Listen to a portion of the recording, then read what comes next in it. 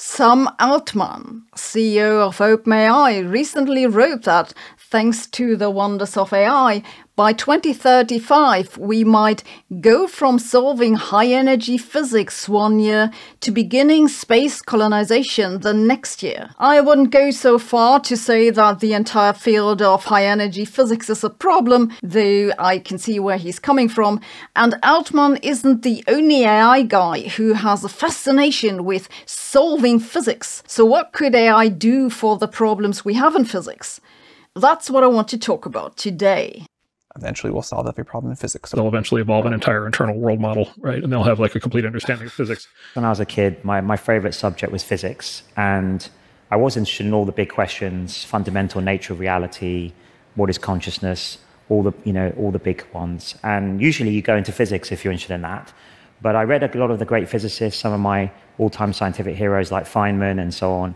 And I realized in the last sort of 20, 30 years, we haven't made much progress uh, in understanding some of these fundamental laws. He's right, of course, about the lack of progress. I don't know why physicists get so upset when I say that. Maybe I should just grow a beard. Okay, but how much can AI plausibly help with understanding these fundamental laws? I want to answer this question in two steps. One is what the currently existing models can do, and then what AI might one day be able to do. First, for most problems in the foundations of physics, it's unlikely that AI is going to lead to big breakthroughs by just letting it analyze existing data. This is because the major problem with these fundamental questions is the lack of data. Think of dark matter, the origin of the universe, quantum gravity. If we had more and better data, probably even physicists could solve these problems. The area in physics with the most data is almost certainly high energy physics, just because particle collisions produce a lot of data. But particle physicists have been using machine learning before anyone else even heard of that, and they've analyzed their data upside down for decades. I strongly doubt that any AI can squeeze out more of this data. There just isn't anything there. One possibility, though, comes from quantum computers, which are generating a lot of data, and there could plausibly be something new to find there, even with the current AIs. This gives me a lot of hope that we'll soon see a breakthrough in the foundations of physics. Besides this, the currently existing AIs can make progress in physics indeed in any area of science, because there's almost certainly knowledge hidden in the published literature that no one's paying attention to. The problem is that there are just too many papers published now for anyone to keep an overview. Indeed, it's possible that we already have an answer to the question of how to quantize gravity or what dark matter is. It's just that no one's ever heard of it. While that's possible, I think it's unlikely.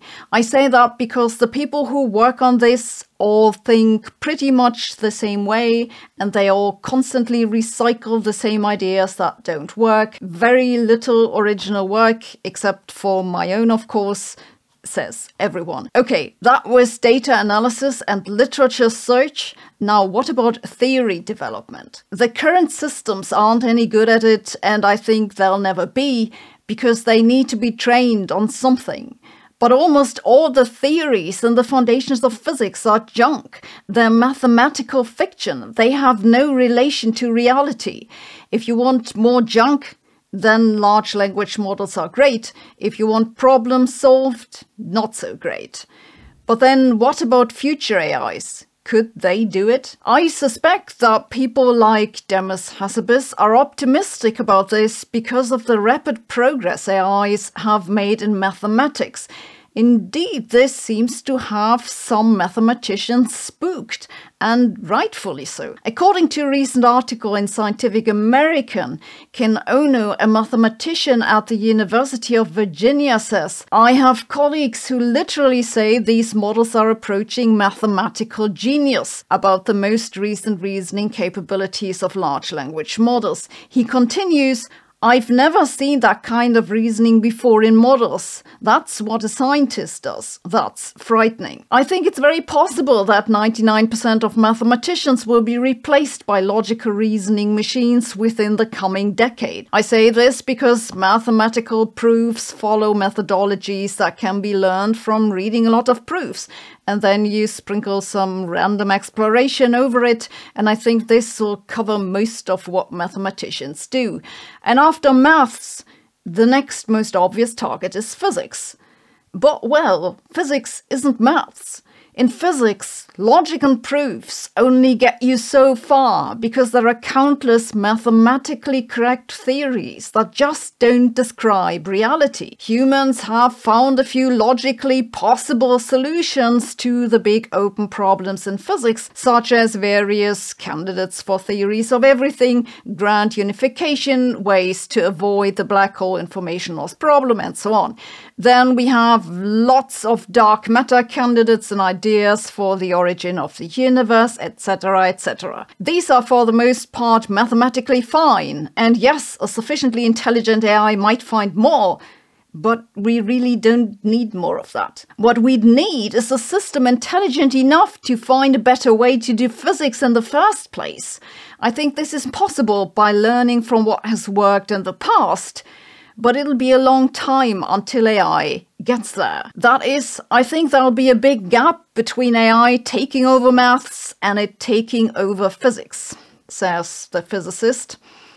Yeah, let's talk about this again in five years. If this video inspired you to start your own physics research before everything is taken over by AI, I recommend you have a look at the courses at Brilliant. All courses on Brilliant have interactive visualizations and come with follow-up questions. What you see here is from their newly updated maths courses. No matter how abstract the topic seems, Brilliant's courses have intuitive visualizations that really click into my brain. And Brilliant covers a large variety of topics in science, computer science and maths, from general scientific thinking to dedicated courses, just what I'm interested in. And they're adding new courses each month. Sounds good?